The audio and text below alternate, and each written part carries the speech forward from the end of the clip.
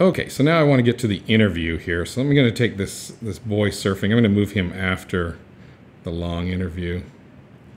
Okay, or grab the interview and move it here. Now I've got this girl surfing and I kind of want to introduce Miranda to uh, what we're going to do here. So uh, I'm going to do it right here.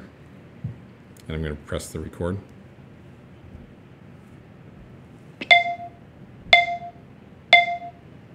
To find out more about surfing, I recently interviewed Miranda about her like of surfing.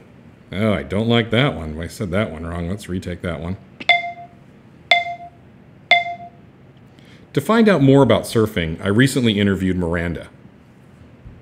Okay, that works good. Accept that.